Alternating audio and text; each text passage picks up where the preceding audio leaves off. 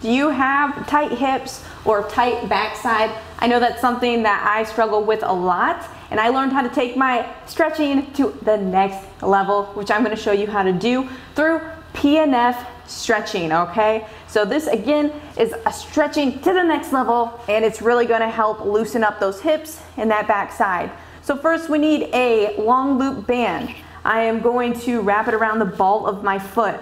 I'm first going to make sure my opposite leg is lying straight on the floor and I'm going to find that tension in this leg. My tension's about at 90 degrees here. Okay, so then next I'm going to contract for about five seconds. Three, two, one. I am then going to relax, taking advantage of my muscles reflex, and I'm going to stretch it a little bit further right there. The key is contract. Five, four, three, two, one. Then we're going to relax and take it the stretch a little bit further. One more time, contract, relax, take it a little bit further. And what that's going to do is get a nice deep stretch in the posterior chain here. And we're gonna get a lot further using this contract relax method compared to just a static stretch. This next maneuver, move number two, I'm going to drop my leg down to the side nice and slow. All of these are done nice and slow and controlled.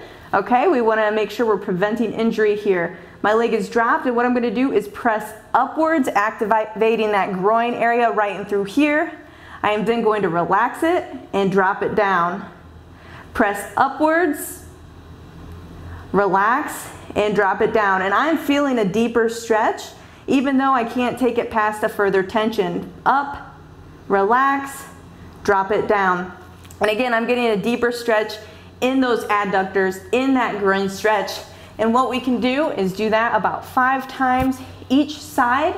Contract, relax, pull a little bit further, and you will feel a nice deep stretch and release in our muscles.